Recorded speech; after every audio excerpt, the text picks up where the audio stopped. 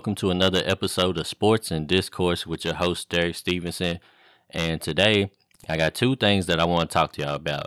The first one is Emoni Bates. And then after that, I want to talk to y'all a little bit about this recruit named Justin Edwards, right? And here's the thing Emoni Bates, he probably has been one of the most polarizing recruits over the last several years. He, I think, was the headline for Coach Penny Anthony Hardaway down in Memphis. He was the top headlining recruit, and most people figure he was going to be a one and done recruit in Memphis, right? And he went to Memphis, he played, and things just didn't seem to go well for the guy. He had a very um, underwhelming season, if you will. I think he only averaged nine points a game, and I guess he just didn't fit with the program down there. So he entered the transfer portal, right? And a lot of people, you know, was starting to get real down on the kid. I think I had read some reports that were saying that a lot of NBA general managers and, you know, just I guess scouts and such were saying that they didn't feel like you could build an NBA team around Emoni Bates, right? And that probably was really disappointing for the kid to hear if he in fact heard that. And hopefully it'll work out for him. I'm not sure if I see NBA star potential. Maybe maybe you can't build a team around him. Maybe he will have to be a role player. I'm not sure, but hopefully he'll work it out and you know figure out what he needs to do and get back on track. But initially when he entered the transfer portal, it was almost a foregone conclusion that he may end up transferring to Louisville. I know Louisville was recruiting him pretty heavy, and me myself personally, I thought he would end up at Louisville. Louisville kind of, you know, as soon as they hired uh, Kenny Payne, they kind of became like the the trending topic for a couple of weeks, and everybody would um everybody knows with Kenny's connections to the NBA and several high profile players in the NBA that he used to deal with at Kentucky. Um, a lot of people thought that Bates was going to end up at Louisville. Like I said, myself included, I thought he was definitely going to be there. And ultimately, he ended up choosing Eastern Michigan, right? And a lot of people have been having some mixed feelings about that. Me personally, I feel like the kid may have chose Eastern Michigan because he may be thinking that number one, he's from the area, so he's gonna feel more comfortable. And then number two, maybe he might have a chance for the system to be built around him so that he he might get the ball in his hands more. He may um, be able to drive up his numbers and his averages a little bit more. And you know, a lot of people kind of think that maybe he may, may be making a mistake me personally, I feel like having good numbers in college is always a plus, but it's not necessarily um, the end all be all, if you will. A lot of times, you know, guys don't average a whole lot of points in college, or even in some cases, they might not even average a lot of minutes, especially with UK over the last several years UK's only had a few 20 point scores, if you will, under Calipari. I think Malik Monk averaged 20 points a game, and I think Jamal Murray might have been the other uh, other player that averaged 20 points a game, but everybody else was under 20 points. And if you think about all the top elite players that played at Kentucky, that have went to the NBA and had, you know, some pretty good success, none of them was high volume scorers at Kentucky one thing Calipari does is he tries to teach all the players to learn to play within the system and play with each other. And then if you go to the NBA and you're lucky enough to be in a situation where you get the ball in your hands more and you can showcase more of your talent, then that's fine. But um, a lot of players don't really do big numbers at Kentucky. I think I seen um, a clip of Bradley Beal and uh, he was telling his AAU team that the numbers really don't matter that much in college. Um, the NBA scouts are looking for skill level, right? So you could average 12 points a game, and if you have high skill level, if you can do several things on the court well, if you play hard, those things tend tend to stand out more than just scoring a lot of points.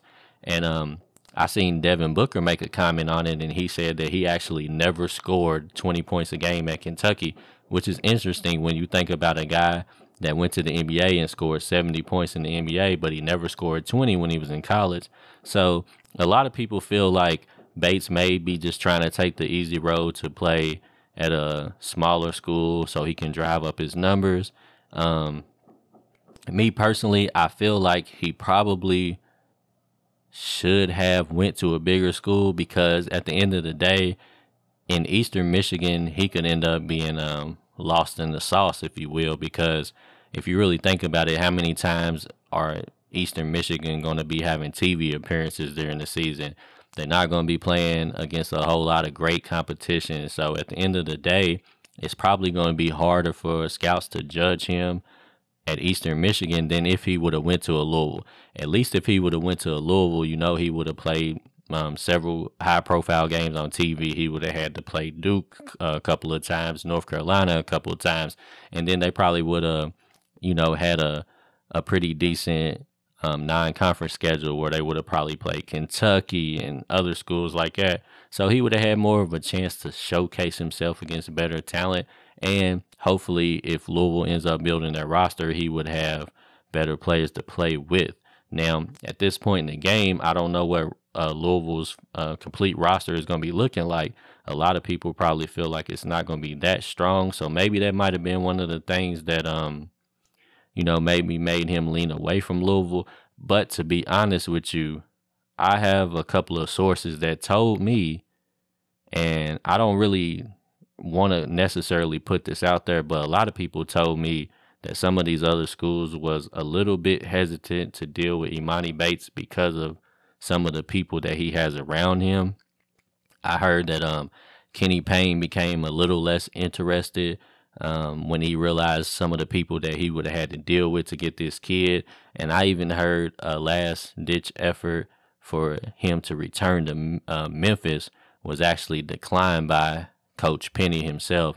So, like I said, um, a lot of times you you have to be very careful um, when you put yourself in these situations because you need to number one, you need to find a good fit. You need to have good people around you that have your best interest at heart, but aren't going to step over their boundaries and end up um, making you an undesirable person, right? And I feel bad for a kid that was once uh, looked at as the number one recruit, uh, sure one and done player, and now he seems to be struggling. He seems to may have been a little exposed, and hopefully, you know, he can go to Eastern Michigan and work his way back up, and you know, get himself prepared to be in the draft. But I'm not really for sure um, if he really just has what it takes, or maybe he's not a high character kid. I'm not really for sure. I don't know anything about him like that, and I don't want to put that out there. So hopefully it'll work out for the kid. Um, but anyways, all my Louisville fans out there, how did y'all feel when y'all heard that uh, Bates was going to Eastern Eastern Michigan instead of Louisville? Were you upset? Did you even really want Bates on the team? Y'all let me know how y'all feel about him, and um, you know we'll discuss it further in the future.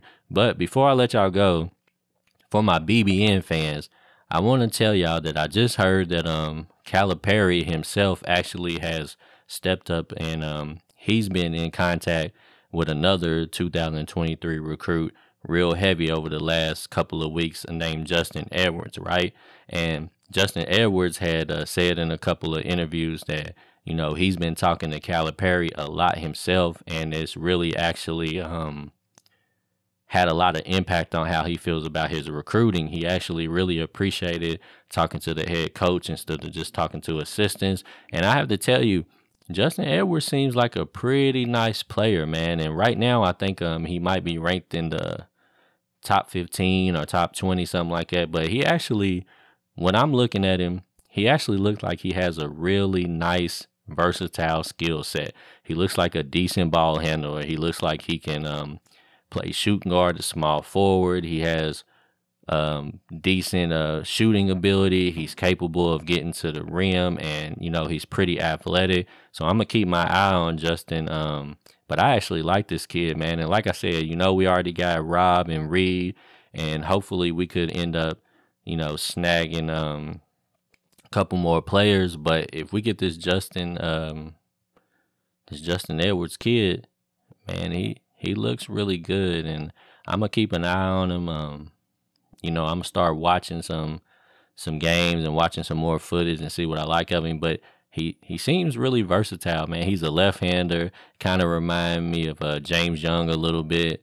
Um, he might not be quite as good of a shooter as James Young, but the kid looks like he's one of those guys that um he another kid that has a high motor, like he's he's always attacking the basket, and even when he misses shots going to the basket, he you know he worked real hard to get a lot of offensive rebounds the second possession. So I really like the kid, man. So y'all let me know what y'all think about him, and um, I'm gonna keep my eye out on him, and we'll get back at it next time. Sports and discourse with Derek Stevenson.